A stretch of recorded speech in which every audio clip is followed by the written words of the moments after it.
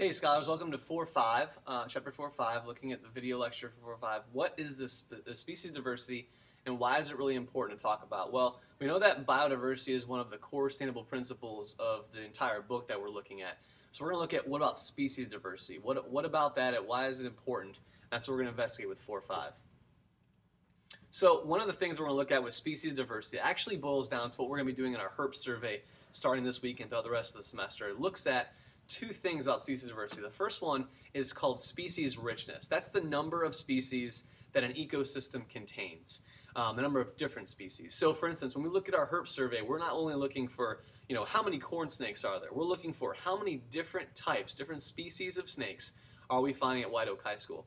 With species evenness, it's a little bit different. Species evenness is the relative abundance of an individual kind of, or an individual species itself.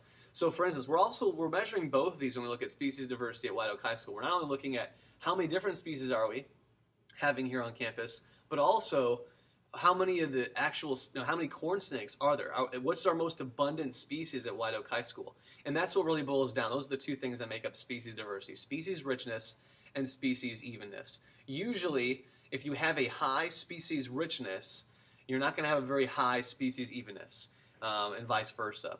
Um, it just kind of works out that way as far as nature goes. Um, so another thing is diver uh, diver diversity varies within geographic location. Most of your very species-rich communities are in, in high areas of, of NPP or net primary productivity, going back to last chapter. So tropical rainforest, very high in NPP. Coral reefs, ocean bottom, not so much, but large tropical lakes, yes. So ocean bottom is kind of that one odd man out, but it has a lot of diversity because of the organisms that have adapted to that area because there is high, still high, well, I guess you should say high nutrient content because of the things falling from the top of the ocean where the nutrients are gathered uh, and also the sunlight gathered um, and then falling to the bottom. So there are nutrients to be had at the bottom of the ocean too. So those are our looking at geog- definitely diversified depending on where you're at in the world. Here's just uh, two examples. On the left, you see species richness. Um, obviously, lots of different types of corals and different marine species. On the right, um, you're looking at aspen trees. So all of them are the same exact species, high in species um, evenness, but not so much in richness. So those are just a couple of different examples there. Um, your science focus question, species richness on islands.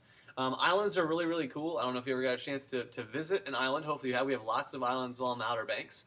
Um, but as far as the islands the Outer Banks go, they're a little bit different than some islands like Madagascar, Hawaii, places like that. So one thing I want to introduce you to today is the species equilibrium model, or the theory of biogeography, which basically means uh, the rate of, it's basically looking at the rate of a new species immigrating should balance with the rate of the species extinction. So when another new species comes in, one species got to get out. Basically, because not, I mean, it's an island. There's only so many places to go, so that makes sense.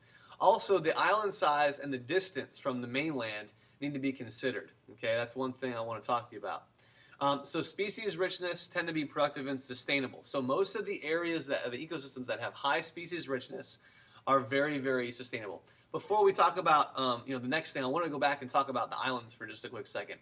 Usually you see, and this is in general science, usually what you see when you have an island that is very, very large um, it, and it's close to the mainland, you tend to have a lot higher species richness. The further away the island is from the mainland and the smaller it is, you see a lower species richness, which just makes sense, right? Large island, more species can be there and inhabit, and the closer to the, uh, to the mainland, it's easier for those, uh, those species to actually get onto the island in the first place. So that's just a general rule of thumb. Keep that in mind come quiz time.